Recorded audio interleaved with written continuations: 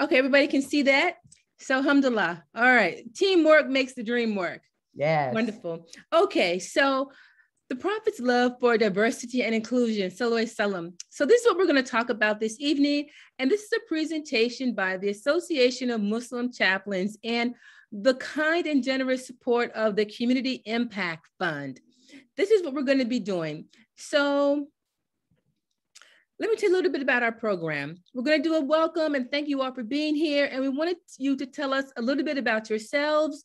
Then we're going to tell you a little bit about who we are and why we're doing this.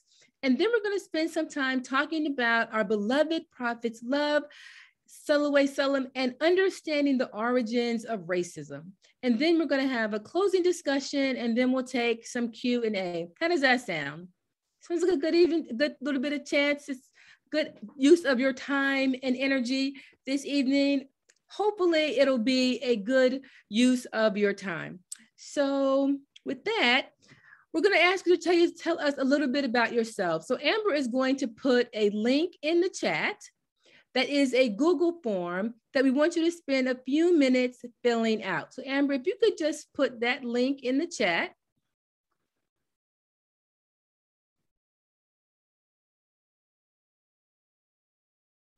There it is. So take a minute, about two minutes, and just complete that form so we can just kind of get a sense of who you are, what you think about yourself, how you identify. So just, just gives us a chance to have an understanding of who our audience is. So just take a few minutes. We'll just give you about two minutes to complete that form. It's not long. We're not asking for blood. We're just asking for a little information and then we'll get started. So Amber, if you can just let us know when two minutes is up. I got you, inshallah.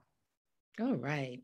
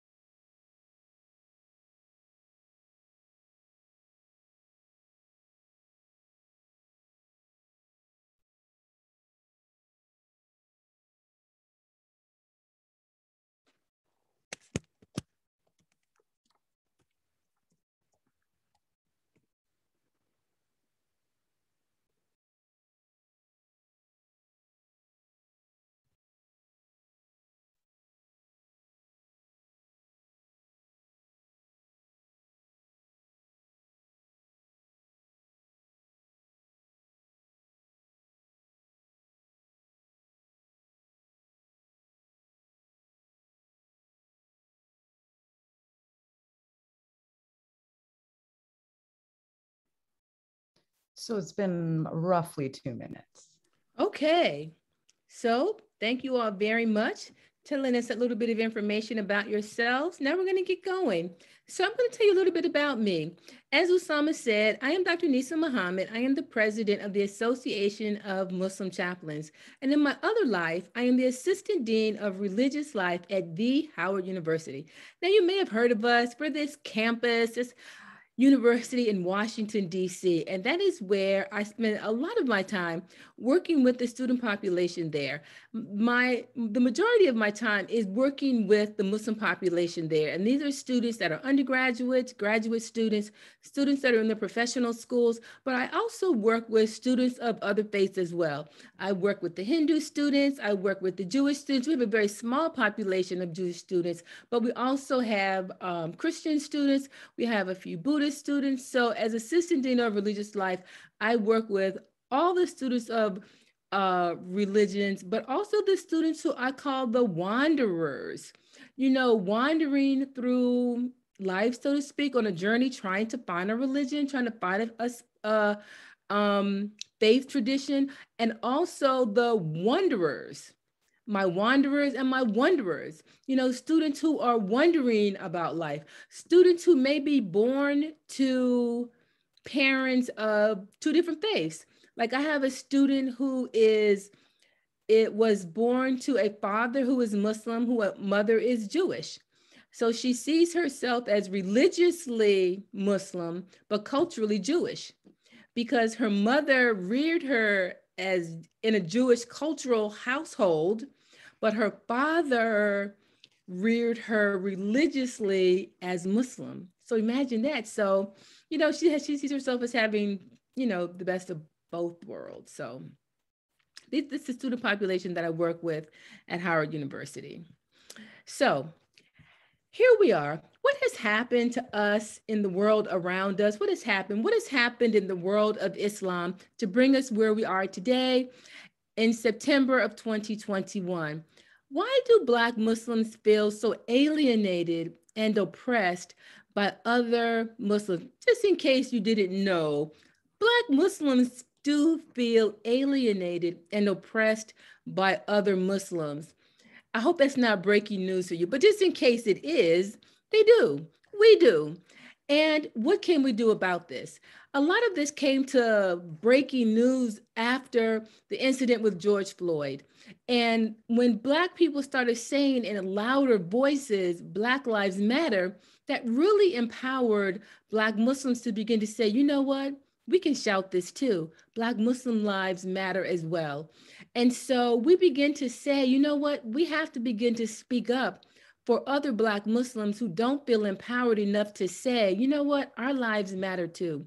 And so that's when the Association of Muslim Chaplains, who work with Muslims all over in a variety of different spaces, from universities to hospitals to prisons to third spaces like this to the military. And we kept hearing from the populations that we serve that Black Muslims are feeling alienated and oppressed, that this is an opportunity for us to begin to serve this population and to serve them in a manner that can help empower them and to help do something about this alienation and oppression to begin to say, wait a minute, that's not Islam.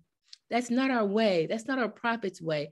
And that we can begin to show people that Prophet Muhammad Sallallahu had a great love for diversity and inclusion, that all around him, there were people that looked different from the way he looked, and he loved them also. So that's why we're here today to try to share some of what we know about this and to help other people understand what's going on. So here we go. Okay, let's get. So we're going to see this little film.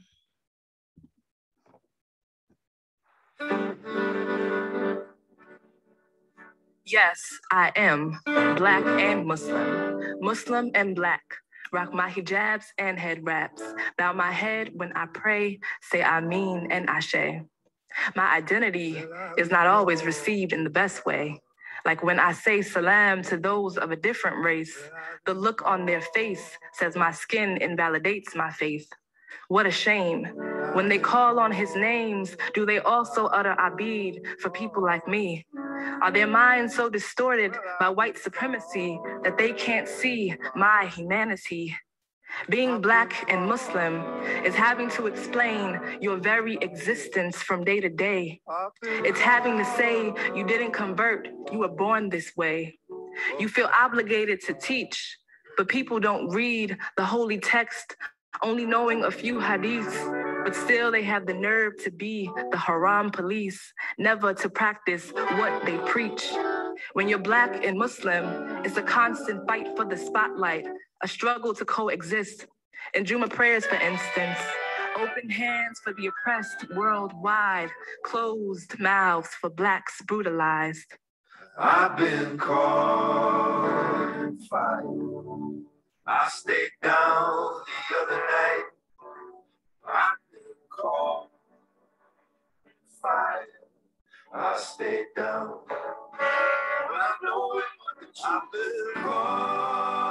Does our empathy lie in a box in between color lines for a chosen few? Did Allah not make us all equal? Can we cry for Trayvon Martin and Gaza, Michael Brown and Chapel Hill? When you're black and Muslim, you feel conflicted. You know a prophet is falsely depicted. Blonde hair and blue eyes not in the description, but your loved ones hold on to what's been given. So truth is buried and the power is hidden. When you're black and Muslim, being unapologetic is a survival tactic. You are connected. Moorish science and the NOI are to be respected. Movements that help raise a people so their way of life could be corrected, guided to become more than they ever expected. Yes, I am Black and Muslim, Muslim and Black, rock my hijabs and head wraps, bow my head when I pray, say Amin and Ashe. I've learned to embrace both parts of me. They now coexist in perfect harmony. Black and Muslim, two identities which perfectly complement me. Okay. So, what did you think about that poem? Any comments?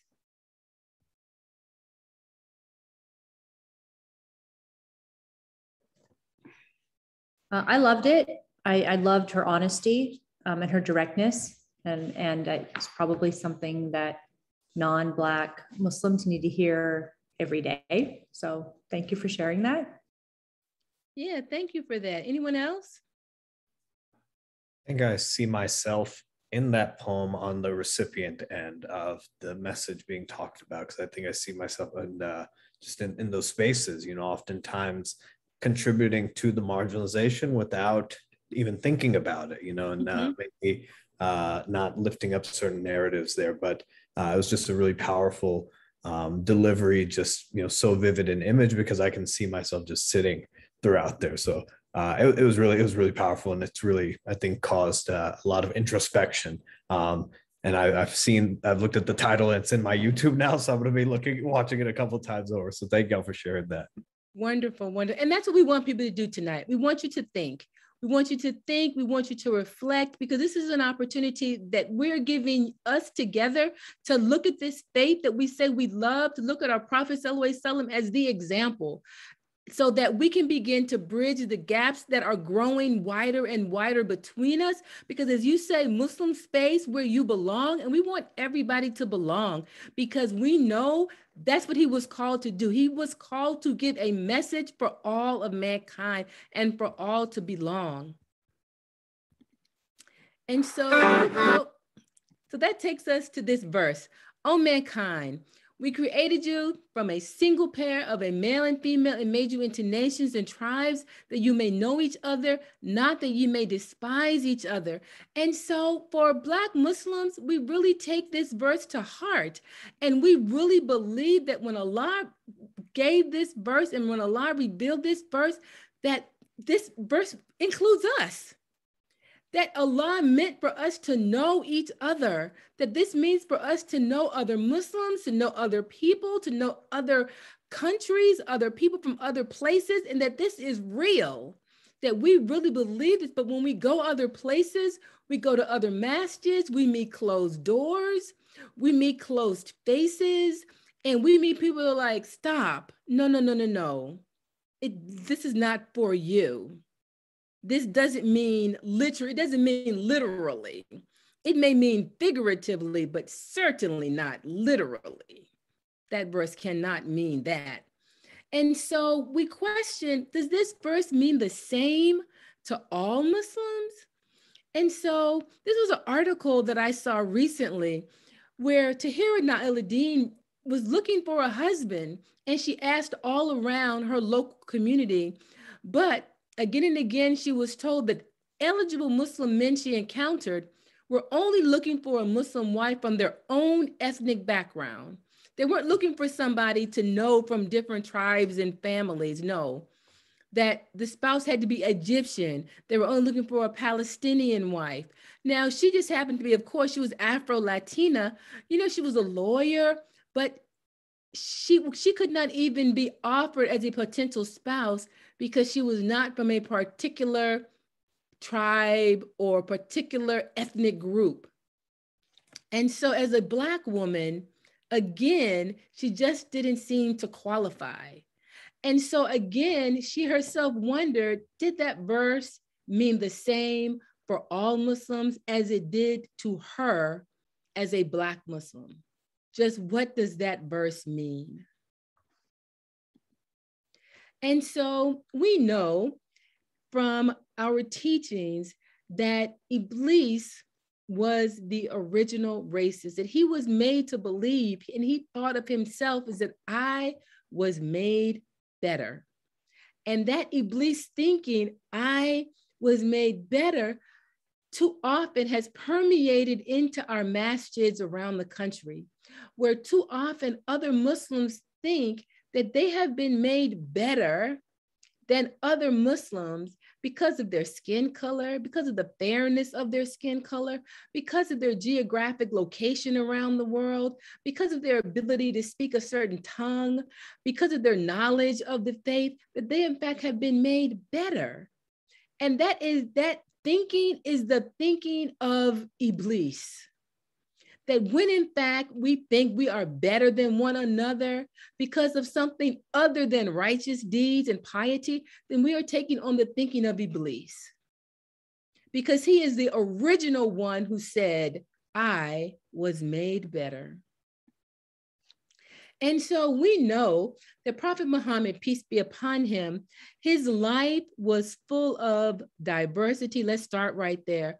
From Umm Ayman, his second mother, who was a Black woman. His second mother, after his mother died, from Umm Ayman to Usama bin Zaid, his teenage general, to Abu Dhar, his companion, a man of moral courage, not man or a man of moral courage. The prophet, peace be upon him, was surrounded by diversity. Surrounded. He was surrounded by diversity equity. The Quran says the believing men and the believing women, the fasting men and the fasting women, and inclusion. When the prophet, peace be upon him, needed advice, he consulted his wives. He didn't just say, I'm just going to talk to the brothers about this. No, he consulted his wives also. He consulted his companions. He was inclusive of those people around him. And he chose Bilal to give the Adan. Bilal was a former slave. He was a former nobody, a former castaway. But when it came time to do the very important job of calling people to prayer, calling people to worship, the prophet, peace be upon him, gave that mighty important job to Bilal, a former nobody. He lifted him up, he empowered him. And today, thousands of years, 1400 years later, hundreds and hundreds of years later, people still call his name. People are still talking about the Muezzin Bilal because Prophet Muhammad, peace and blessings be upon him, chose him for that job. That's how important he is in history. But he's not the only Black man. There are other companions that were Black that were around the Prophet, peace be upon him. But look at our masjids. We go to how many other people of color are there that are surrounding the imam, that are surrounding the people in leadership, that are even in leadership? Does our leadership circle reflect the same leadership circles like Prophet Muhammad's leadership circle? Are we emulating his choices? Are we doing the same kinds of things that he did? Are we following his prophetic example? And so we know our values are faith, good deeds, we live in peace and we give to others. But are these faith, these values just for a select group of people? Or are these values that we extend to all? Are these values that we extend to all? So Black Muslims understand these values. And they understand that these values are not just for Muslims, but Black Muslims have a dual identity that they are Black and they are Muslims. And they understand that Black people want the same values as well. And so, but Black Muslims really get frustrated when they see Muslims just doing things that they think are just good for Muslims, but are not good for the whole of humanity. For example, at the University of Michigan, they were raising money to send water to Pakistan. That is a very noble effort. It is a very noble, wonderful effort to raise money to send water to Pakistan. But does anybody see anything wrong with that? University of Michigan in Detroit, raising money, this was a few years ago, to send water to Pakistan. Anybody see anything wrong with that? You could put it in the chat or you could. Yeah, oh, Shabia got it. She guessed it. She said Flint. Thank you. Flint, Michigan, 30 minutes right down the road. And so the Black Muslims on the campus were outdone. They were like, What are we doing? What are we doing? Flint, Michigan was in the middle of a major water crisis where the people there had to go and get water for everything. They had to go and get water to bathe. They had to go and get water to cook. They had to go and get water to wash their clothes. They had to go and get water to do everything that you need water for. The people had to leave their homes every day to get water. They're in the middle of a major water crisis. Their children were getting sick. Their children were getting lead poisoning from the water that they were drinking and there was no one coming to help. How do I know this? Because Howard University, I took a busload, two busloads of students from Howard University to Flint, Michigan. And we and what was on our bus? Cases and cases of water. And who helped us with this? Islamic Relief. We took cases and cases of water to Flint, Michigan and passed them out to families who had to leave their home every day. And I took Muslim students with me because we understand faith, good deeds, live in peace, give to others, not just give to the Muslims. No. Prophet Muhammad, peace be upon him, came with a message, a final message to all of mankind. I don't care who you are. You're in the middle of a water crisis. I don't care who, Muslim, non Muslim, Buddhist, Chinese, I don't care. We, we serve humanity. And as Muslims, we should, we should be the ones to serve it best. We should be the ones to serve it best because we have the final messenger, peace upon, and we have the best message. So we should be the ones serving it better than anybody else. But sometimes we just miss, we, we, there's a disconnect. And that is why we are doing this program to help us reconnect with what, what is really, really important faith, good deeds, living in peace, giving to others. So, those are some of the problems. What can we do? Smile. It is charity. Meet someone new. Someone coming to your space where you belong, make them feel like they belong. I mean, really make them feel like they belong. And it can start with your smile. Connect, introduce yourself and your family. Introduce new people to the imam. Let them know this is this is our this is our fabulous imam, or this is our speaker. This is a person who gave the the the Juma. This is our khatib it connect with people. Let them feel like they are welcome in your space. Don't let new people just come and go and they don't meet anybody they don't know anybody. Invite them to other programs. Well you know what brother? We had this program tonight. Come back tomorrow because we're having such and such a program. Or next week we're going to have this program. Invite them to other programs. Exchange contact information start a real brotherhood and sisterhood now we know when the people, when the Muslims left Mecca and made Hijrah, a lot of them left everything for God. They faced religious persecution and when it was time to go, they left like everything. I mean, just can you imagine leaving everything? Some people left families, they left their homes, they left their jewelry, they left everything for God, for God, because they heard a word that spoke to their heart. They heard a message. They heard they, they met a messenger of God. And it changed their lives. They didn't want to worship idols anymore. They didn't want to bury their girls, their girl babies anymore. They, they, they, didn't want to fornicate anymore. They didn't want to live that life anymore. They wanted to change their lives and be better people. And so they left everything they had and said, I'm done with that life. I'm done with this. I am out of here.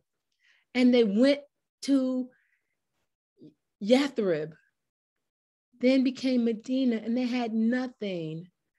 A lot of them didn't know anybody because they had left everything for God.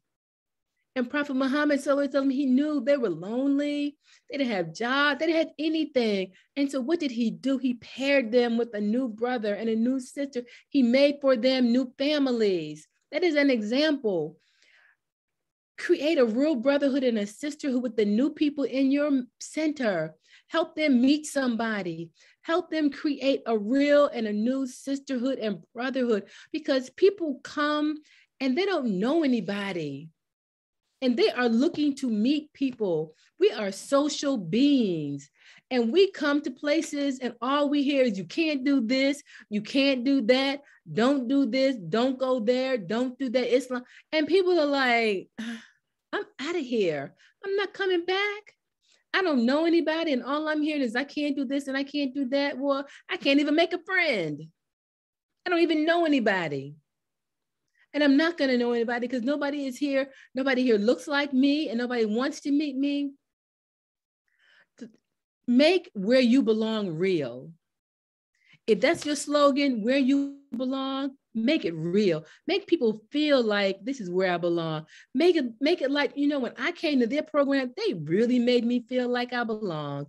They made me feel like I was an old friend. They made me I, I met so many people like, oh my God. And they called me the next week. And somebody asked me to come back to another program. And somebody called me the next week and asked, somebody asked me how I was doing. And, you know, somebody said, what do I do? And somebody asked me if I had any skills. And somebody asked if I wanted to be involved. And I mean, they really made me feel like I belonged. That's how we make people feel like they belong. Because for real, for real, I don't know if y'all say that in your where you are, but in DC, people say that for real, for real. You know, people want to belong. People come to Islam because they have tried other faiths and it didn't work. I mean, for some people who have been born and born, they're born Muslims, but I'm a convert.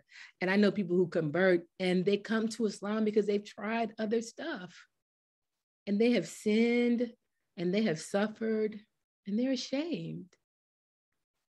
And so they want to come to a place where nobody cares. Nobody cares about your sins. Nobody cares that you've suffered. Nobody cares that you're ashamed. All they care about is who you are today. They care that who you are that Allah has blessed you to be this day. And we are so thankful that every day Allah gives us another opportunity to be somebody brand new. And sometimes, you know, young people, so you're trying to be brand new. Oh, absolutely. Oh, absolutely. I'm trying to be brand new. Not your kind of brand new. I'm trying to be Allah's brand new. I am really trying to be brand new. Every day Allah gives me the opportunity to be brand new. I'm I'm taking it because we all want to be brand new for Allah. And so people want to be brand new and they want to be in a place where they are encouraged to be brand new. They're encouraged to be better and new and wonderful and exciting and joyous and to be around people who are just like that. And I know at your place where it says be well, we you know, be we want to welcome you, that this is the right place. So let it be a right place, not just for the Pakistanis or the South Asians or the Arabs, let it be a welcoming place for everyone because that's what they want. And so there is a new book out called The Spirits of Black Folks. And in this book, it says, the messenger of Allah said, emulate Black people, for there are three among them who are leaders of the inhabitants of paradise, Luqman the wise, the Negus, the, and Bilal the Muezzin. And this is an amazing book that is put out by Celebrate Mercy and order this book if you can. It's all about Black people around the messenger, Sallallahu Alaihi It's called Sages Through the Ages, The Excellence of Black People. Now imagine this, we got to put out a book called The Excellence of Black People. It's very sad that this kind of book has to be has to be done, but it's very amazing because it is about it is about the excellence of Black people. And so it's because we just don't think that any there's any excellence about black people. It's very sad. But there's so many amazing things about black people in islam. We just don't know it. But it's our time. Black muslim lives matter. Yay. So from prophet muhammad's last sermon peace be and blessings be upon him he gives this amazing portion of that sermon where he talks about the equity and equality of all people. And I'm sure all of you have heard this so many times, so I won't repeat this. You can read this, but it's just so amazing. He talks about the equity and equality of all people. And, you know, we're all in this together. We're all in this together, believe it or not. We are all in this together. And so the Quran is our best book of guidance, and Prophet Muhammad's life, peace be upon him, is the best example of how to implement it. So I just encourage all of us to let's work harder to show everyone his love for diversity and inclusion, not what we think of how it should be and how somebody else showed us and somebody else told us how it should be. Let's emulate his prophetic example for diversity and inclusion because his way is Allah's way because even when he tried to do something different, when he was trying to appeal to the upper classes, Allah chastised him because the blind man was just tapping right there by him. And he kind of ignored the blind man. But Allah said, Oh, no, no, no, no, no, no, no, no, no. You will not ignore my people. Do not ignore Allah's people. Do not ignore the people who really need to be seen. Do not do that. And so, Jazakallah, thank you all so much for listening. Do you have any questions, any comments, anything you want to add? I really appreciate you taking the time to be with us this evening.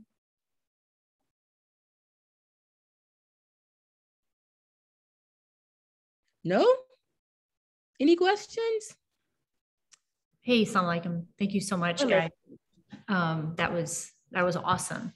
Um, and uh, as much as we like to boast that we are inclusive, um, I know that we are we fall short at times, and so I really appreciate um, some of the things that you had mentioned. You know, make sure you check up on people. Like someone's if someone's come in that's new, we're we're really good at greeting them, but did we check in with them a few days later, right?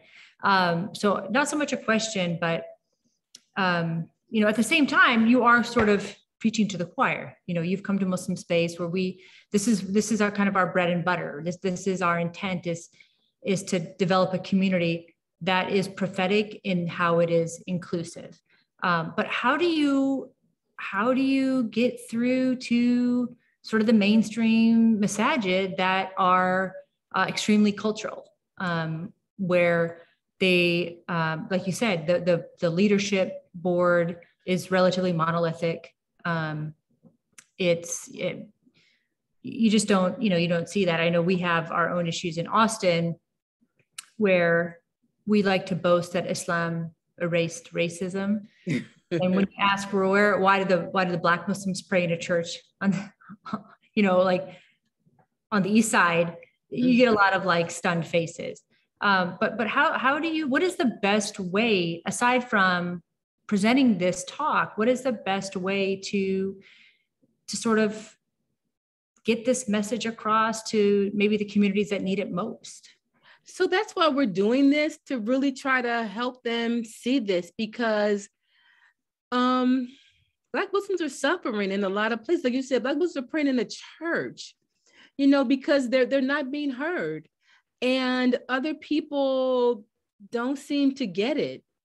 And that's really the reason why we are doing this kind, these kind of like one hour talks, just to kind of get the message across in a kind of non-threatening way to help them see and feel and understand that this is not something that we're making up. This is Prophet Muhammad, peace this is his way. This is, we're not, this is his way. We're not originated originators of this. We're just asking you to do what he did. We're calling you back to his way, not your, because what you're doing now is you're doing your thing. We're calling you back to his way. And so that's all we're asking you to do. Stop doing your own thing and do his thing. And I think if we if we prepare the message like that, that helps people to see the difference in what they're doing compared to what he did. Well, you guys have put together something truly beautiful. And so, inshallah, um, this talk gets spread around a lot more. Um, and, and, it lands on the ears of the folks that need to hear it the most. And I'm not saying we're immune. We do need to hear this. We need to hear it often. So thank you so much.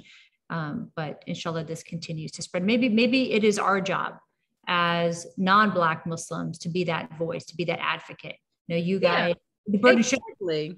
You know that exactly. And so this is like this is our trial period. You're one of I don't want to call you our like our you're our test case. We're a guinea pig. That's okay. We like being. I didn't want to say guinea pigs. I didn't want to call you on that. So this is like our little trial period to see how this is. So we are refining our presentation, and so you know we want to just you know that's, that's why we're doing those little pre and post surveys to just kind of see you know what worked, what didn't work, what you like, what you didn't like, because we want to want to know what is working with this presentation because we do want to take it to other you know places to really get this message across because what we are hearing from other black muslims around the country that they're suffering. And it's not even just a, it's children you know children in uh in schools. You know i mentioned the issue at um university of, of michigan msa you know black muslims are leaving the msas all around the country because of these exact same reasons. You know um going to uh, so i was at um, another university and i was talking to the the msa because the black muslims were threatening to leave the msa and i asked the students i said hey do you ever have a black imam come and do juma? And they're like no. I said you have all these black muslims here on campus and you never have a black imam come and do juma well, no, we never thought about that. Well, then why do you think the Black Muslims would be ever be satisfied with what's going on? And you never have anyone come that looks like them to do Juma. Do you ever have anybody Black come and give a lecture, do a program, anything like that? No. Well, what do you think the subtle message is that you are giving to them? That, that, there's, that only Arabs and South Asians can teach Islam.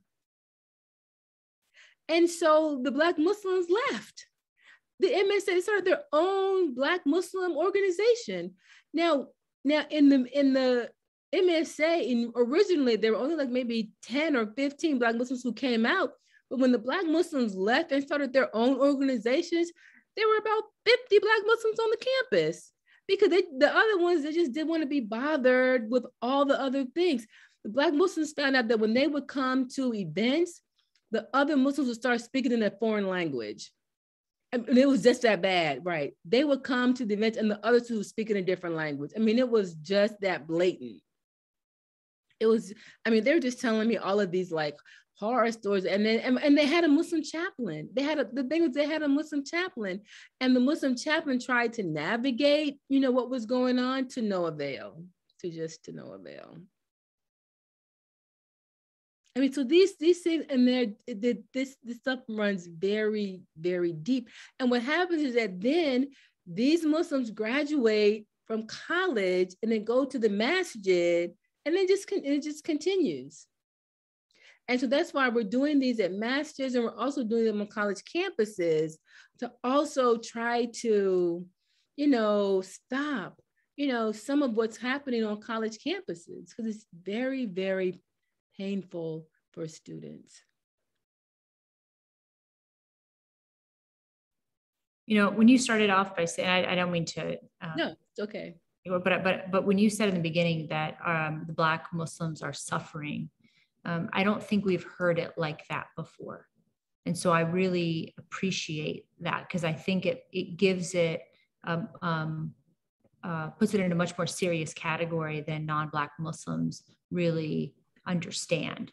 So to come right out and say that right from the get-go, that sort of set the tone. Like I'm going to pay attention because you can't continue living as normal, operating as normal when you are made aware that there are brothers and sisters who are literally suffering. So thank you for saying that right from the beginning. I, I, I think that was very important to do. So anyway, I'm going to shut up now, but thank you. Any other questions, comments? Not really a question, but Jazakallah for your presentation. It was very beautiful. I fully agree with everything that you said and with the message you gave to us at Muslim Space as well. And sometimes when we have when we used to have in-person events and everybody was decorating the tables and you know making things look beautiful, I would always go around fussing and saying, you know, it's good to make things look beautiful, but the real beauty is in our akhlaq. It's how we talk to people, how we welcome them. People won't remember what the flowers on the table look like. They won't remember what the name tags look like, but they will remember how they were treated. And so I think that is a resonating theme. And mm-hmm. recently I have two kids in college. So my son went to the masjid and he thought the prayer had ended. It was start. There was some confusion and he did something wrong.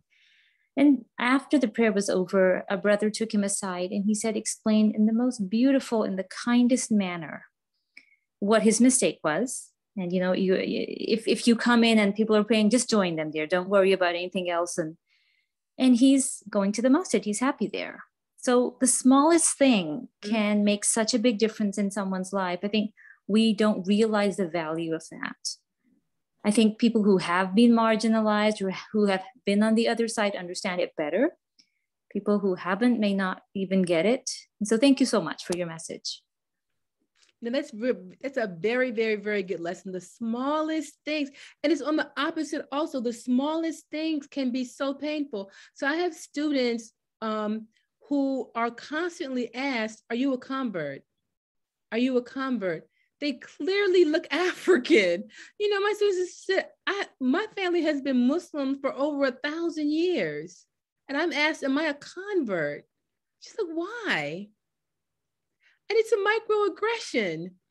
You know, it's just, it's just a microaggression to just ask me, are you a convert? Or like, micro stupidity. Sometimes yeah, I call right. it that. It's a right. The micro stupid. Why don't we think before we talk? It wouldn't hurt us at all to to just to think a little bit more. And I think masajid should talk about these messages that people are given, these specific things. When we're here, we all belong. It doesn't matter if you've been Muslim for millions of years or you just started why should it matter? Why should you be asked? Why should it be commented upon? Exactly. It's an undressing. I mean, you know, it's you're absolutely right. You're absolutely right. So, anything else? Any other comments, questions? If not, okay. Amber has a, our final little survey. She's going to put that in the chat.